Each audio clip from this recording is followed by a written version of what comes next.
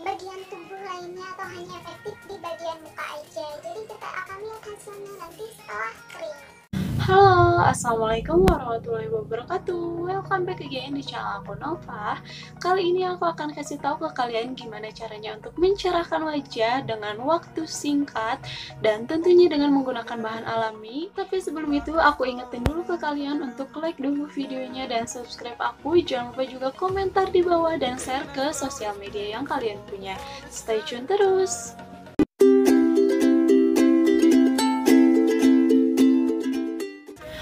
kita langsung aja ke cara pembuatan. Di sini bahan yang kita perlukan adalah tepung beras. Nah, aku akan masukkan ke dalam mangkuk. Kita hanya butuh satu sendok makan aja.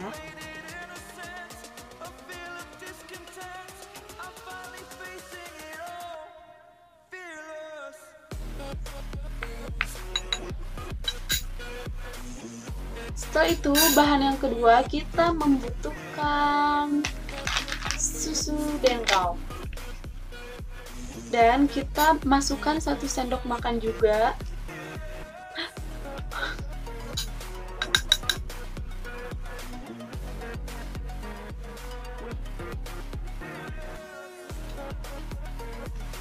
Setelah itu kita akan larutkan dengan menggunakan air mawar. Nah, kalau misalkan kalian gak ada air mawar, kalian bisa pakai air mineral atau air yang ada di rumah, air minum kalian tentunya yang matang, yang bersih seperti itu. Kita akan masukkan secukupnya aja sampai uh, dia larut.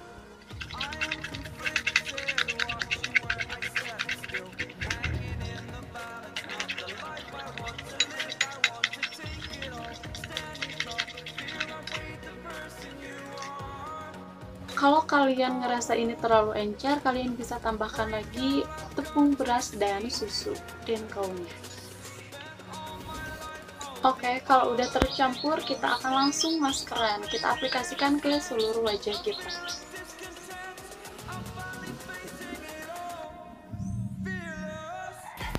Kalian pasti udah nggak asing lagi kan sama masker susu, bukan hanya untuk wajah aja, tapi kan eh, kalian juga bisa untuk badan seperti mandi susu pasti kalian itu udah enggak asing lagi.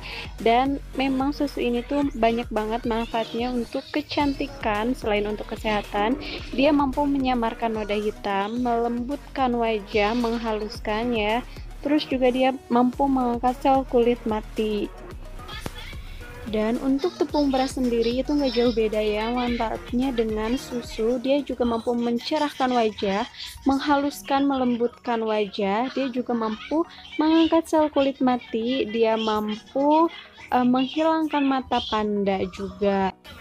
Dan biasanya bahan kecantikan yang dari uh, beras kayak gini tuh itu biasanya ada di negara Sakura yaitu negara Jepang.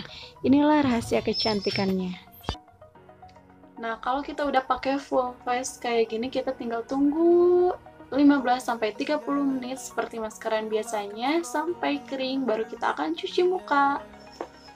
Aku akan balik lagi setelah maskernya kering.